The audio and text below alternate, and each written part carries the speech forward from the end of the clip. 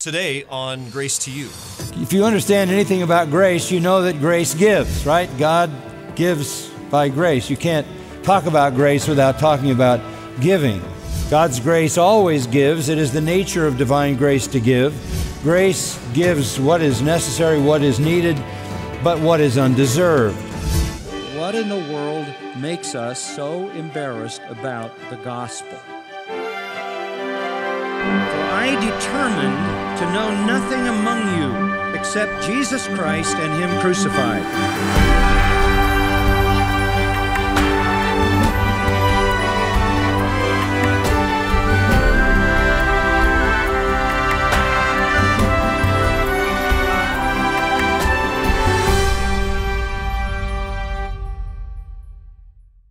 We come again to the Word of God and to Ephesians chapter 4. I want to show you what the measure of a church is, how you evaluate a church's authenticity by having you follow as I read Ephesians 4, starting in verse 7. And I'll read down to verse 16. But to each one of us, grace was given according to the measure of Christ's gift. Therefore, it says, When he ascended on high, he led captive a host of captives, and he gave gifts to men. Now, this expression, he ascended, what does it mean except that he also descended into the lower parts of the earth? He who descended is himself also he who ascended far above all the heavens, so that he might fill all things. And he gave some as apostles, and some as prophets, and some as evangelists and some as pastors and teachers, for the equipping of the saints for the work of service to the building up of the body of Christ, until we all attain to the unity of the faith and of the knowledge of the Son of God, to a mature man, to the measure of the stature that belongs to the fullness of Christ. As a result, we are no longer to be children tossed here and there by waves and carried about by every wind of doctrine, by the trickery of men, by craftiness and deceitful scheming. But speaking the truth in love, we are to grow up in all aspects into Him who is the head, even Christ, from whom the whole body, being fitted and held together by what every joint supplies, according to the proper working of each individual part, causes the growth of the body for the building up of itself in love.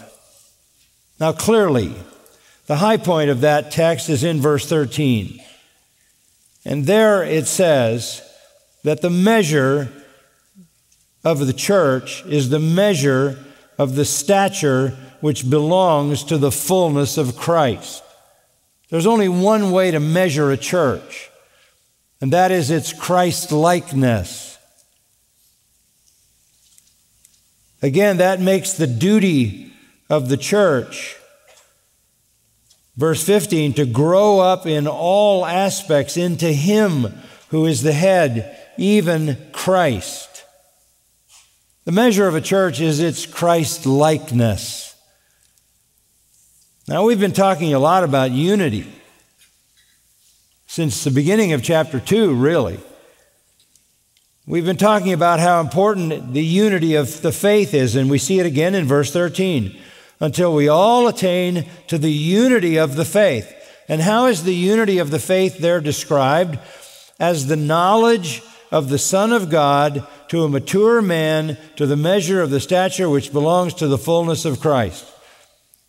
So the unity of our faith is a common Christ likeness.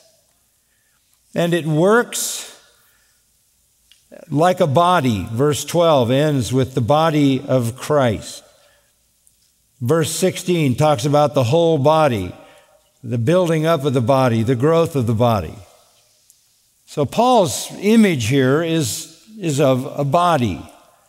Down in verse 16, he even talks about each and every joint and the proper working of each individual part, which causes the growth of the body. So we have a very simple illustration. Body, the body of a human being, functions well when all the individual components that make up that body function well. If uh, something's wrong with a functioning organ on the inside or a functioning limb on the outside or something in the brain, whatever it might be, the body is in a sense of dysfunction. So we understand the illustration like a body, you have to have all the component parts to have one whole healthy body. And that's how the church works. Our unity is found in our diversity. Our unity is found in our diversity. All the various people with all their uniqueness, functioning in diverse ways, contribute to the unity of the church like all the features of a human body contribute to the united functioning of a human being. So the key to unity is diversity. That's a popular word these days. The diversity of the church. It doesn't come from collection of sins, personal experiences, and political viewpoints. What, what is the source of the diversity of the church? Let's look at verse 7.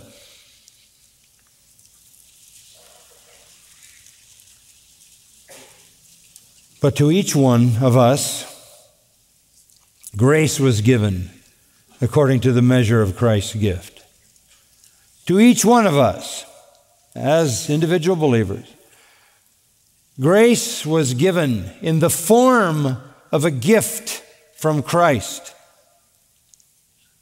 Now, if you understand anything about grace, you know that grace gives, right? God gives by grace. You can't talk about grace without talking about giving. God's grace always gives. It is the nature of divine grace to give. Grace gives what is necessary, what is needed, but what is undeserved.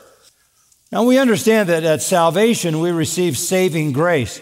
This is far more than that. This is the grace of all spiritual blessings in the heavenlies in Christ. Chapter 2 and verse 5 speaks about us being saved by grace. Chapter 2, at the end of verse 5, by grace you have been saved. And then it's repeated again in verse 8, by grace you have been saved. That's saving grace.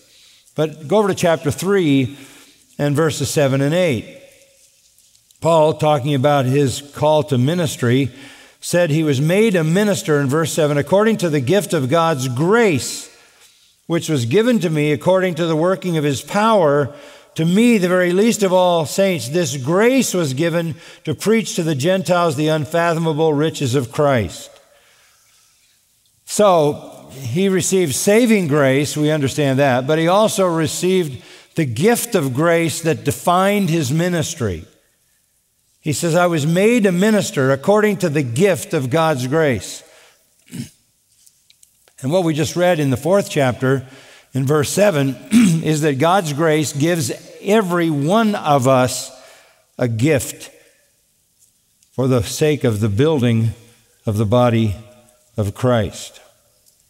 Paul's ministry was a gift of grace. Paul says in his letter to the Corinthians, 1 Corinthians 15:10, I am what I am by the grace of God. I am what I am by the grace of God. Not only what I am as a believer, but what I am as a minister. I was given saving grace, and then on top of that, that saving grace lavished me with all spiritual blessings in the heavenlies.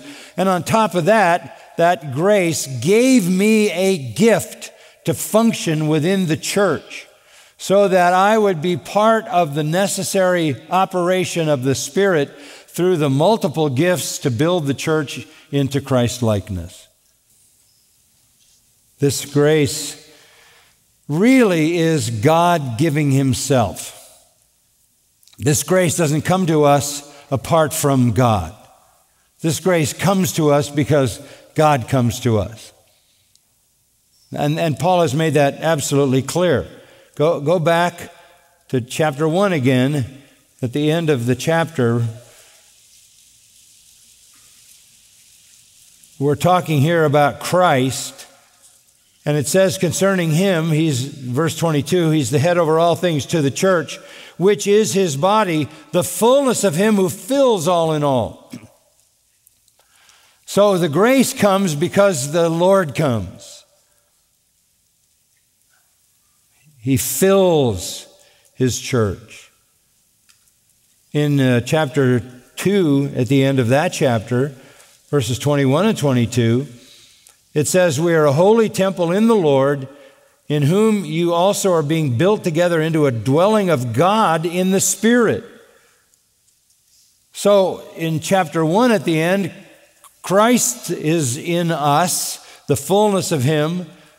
In chapter 2 at the end, the Spirit is in us. Look at the end of chapter 3.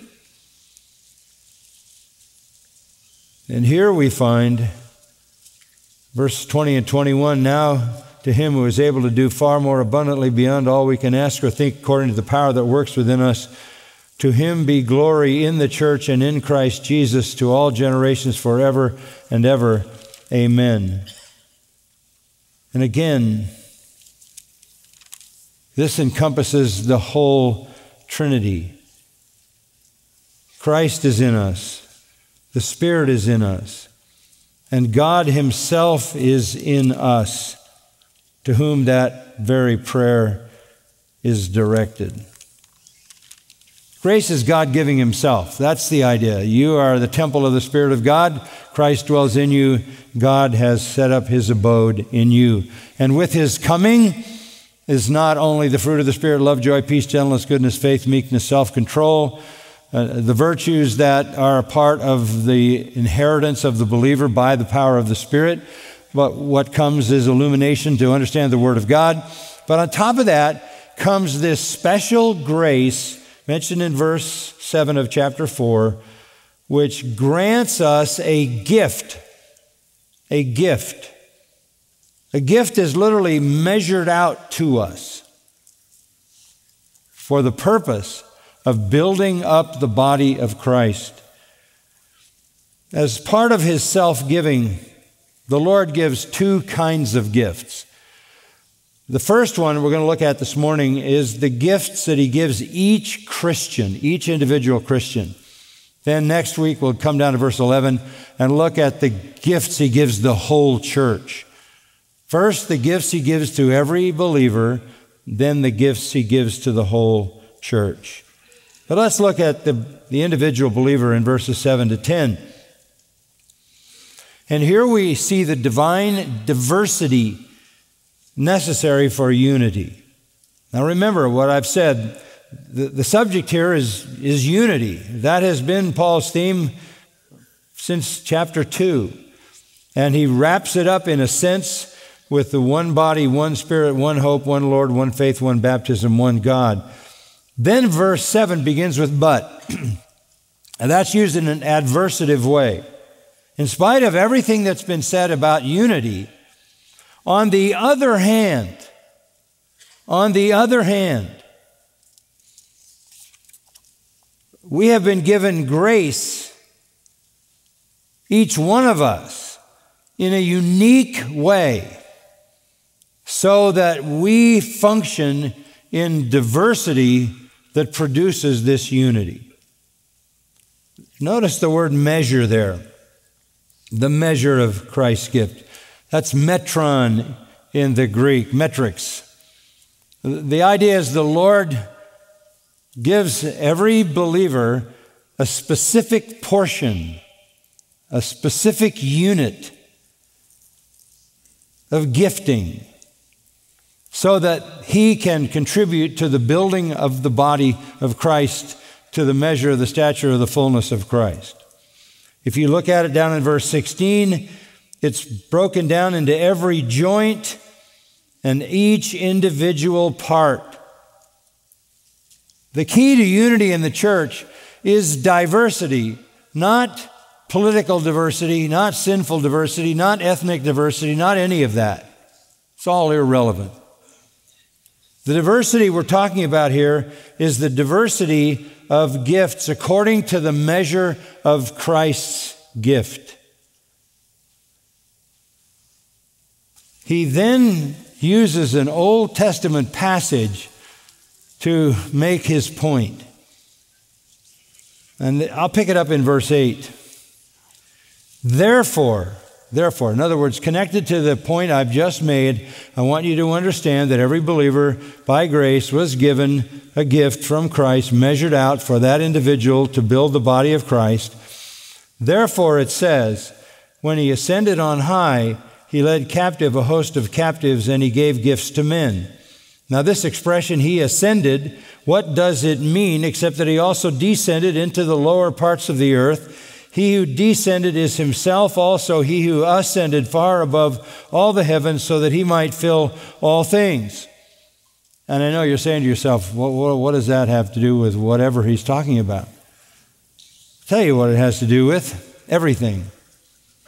This shows us the cost, mark it, the cost for Christ to give you the gift. You can't take it lightly. That, that, that's what Paul's going to show us. You, you may, at this particular point, not have any functioning role in the church. This will come to you as a, a shock, no doubt. But the Lord paid an astonishing price to be able to gift you so that you, for the common good, could help build the church into Christ likeness for the glory of the one who paid the price. So let's go back to verse 8. You'll notice if you have a, um, a Bible that identifies an Old Testament quote that this is taken from Psalm 68. So Paul is quoting Psalm 68. Now, Psalm 68, this is verse 18 in Psalm 68.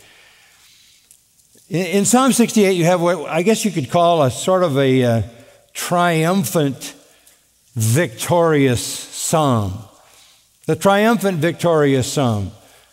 Uh, a, a victory hymn, maybe a better way to say it, composed by David to celebrate God conquering the Jebusite city and establishing the Ark of the Covenant on Mount Zion.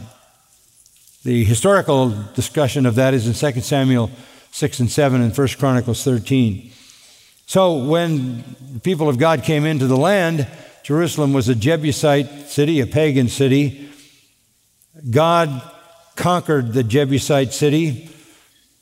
Symbolically, the Ark of the Covenant was taken to the pinnacle of that city, Mount Zion and God was the conqueror of that city, and it became Jerusalem. This is what kings did in ancient times. When they conquered, they went to a high point and declared their triumph. And this 68th Psalm is a triumphal hymn to honor God who conquered the city and ascended to reign over it. This was pretty common in ancient history. There, would be generals who would go out and win a war, and they would come back, and the Romans used to call it a triumph, a triumph parade. Uh, the general would come back and he would bring with him the spoils of victory. There would be whatever they gained of the valuable things in that country, represented by symbols of that value.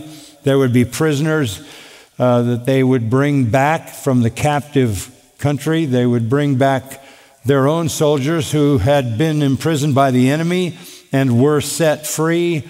And they would all parade through the streets of the city uh, to the highest point of the city. That's what they did. That's what the Roman generals did. It wouldn't be much different for any other nation in ancient times. An Israelite king would parade into Jerusalem in a victory parade bringing some of the captives with him and some of the spoils, and he would go to Mount Zion, which was the pinnacle. There would be victorious soldiers, and there would be the soldiers that the enemy had taken prisoner that then were recaptured by the king that owned them and had a right to them. And all of this would be a parade of triumph through the city. That's the picture here. Christ is pictured. He, verse 9, he ascended. He ascended. He ascended on high, according to Psalm 68. He went to the high place. Christ did this as a triumphant general. He ascended on high. This picks the triumphant Christ returning from the battle on earth. And what does he do? He brings with him essentially the trophies of his conquest. It's a picture of the Son of God ascending triumphant to his throne. But, verse 9 says, this expression, he ascended, what does it mean except that he also had descended into the lower parts of the earth? He can't ascend unless he's descended. And that's exactly what this is saying to us. It's very powerful. I want you to notice one phrase the lower parts of the earth. Before he went far above all the heavens, in verse 10, he went into the lower parts of the earth. What, what does that mean? Well, essentially, it's a, it's a dramatic, dramatic statement. It's used four other places in Scripture, very instructively. It's used in Psalm 63 9. And there, ascending to the lower parts of the earth had to do with death by murder, death by execution. It's also used similar phrase in Matthew 12:40, the heart of the earth, and it refers to the story of Jonah. And it refers to Jonah being in the belly of the fish. It's used in Isaiah 44:23 to refer to the created earth. And it's used one more place, Psalm 139:15, to speak about a womb, a child in the womb. Interestingly enough, those are the only other four uses of it, and they all have a connection to Christ. It's, it's really amazing. He descended into the lower parts of the earth. He was formed in the womb. Psalm 139. He lived on the earth. Isaiah 44. He was buried in a grave parallel to Jonah in the belly of the fish. And his death was an execution. That, that very phrase points directly to Christ. Now, why all this? Because Paul wants us to understand the price he paid to be able to gift you.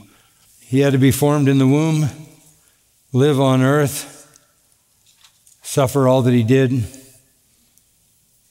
be executed, and be buried in order that he might ascend triumphantly to heaven. And only when he went back to heaven in triumph could he give gifts to men. He went back, verse 8, borrowing again from Psalm 68, he led captive a host of captives in his descent into the earth, in his life and death and burial and resurrection, he took captive, you could say, the elect of God. And took them or their, their right to heaven. He captured all who would ever live who were part of the elect. He won their right to be brought to God and to his kingdom because they belong to him. And then he gave gifts to men. He couldn't pass out the spiritual gifts until he entered into heaven at his ascension. Like a triumphant, conquering hero, he goes back with all the spoils. He arrives and is honored as the triumphant king, and then he begins to disperse the treasures. The point is this your gifts didn't come easy, did they? The spoils that turn into the gifts of grace to each of us were won with a massive battle against Satan and a willingness to bear divine wrath. He ascended and he gave the gifts because he had descended and won the right to be called Lord. So when you think about the gift that you have, you should treasure that gift. He purchased that gift with his own life. End of verse 10. When he ascended far above all heavens, so that he might fill all things. He went back triumphant. His glorious presence and power is expressed in universal sovereignty. So consider the, the grace of Christ in giving you salvation and giving you a gift to serve in his glorious church for his honor. As each one has received a gift, each one, employ it in serving one another as good stewards of the manifold grace of God. There's grace again, manifold grace, varieties of grace have bestowed on every one of us a gift. Employ it in serving one another. It's not for you, it's for them. That's your stewardship. The cost was immense to provide that for you. And then Peter breaks the gifts into two simple categories some speaking gifts and some serving gifts. Whoever speaks, do it as one who is speaking the utterances of God. Whoever serves, do it as one serving by the strength which God supplies, so that in all things, what is the end of this in the church? God may be glorified through whom? Jesus Christ, to whom belongs the glory and dominion forever and ever. Amen. Again, Peter understands that the gifts, when they're used in the church, in the strength which God supplies, bring glory to Jesus Christ, which glory will redound forever and ever. And he says, Amen. That's the measure of the church. And that's what we strive for. To be an authentic church, it must be a light to the world and cannot be indistinguishable from darkness around us. Rediscover for yourself what our Lord demands of His church through Pastor John's book, Christ's Call to Reform the Church.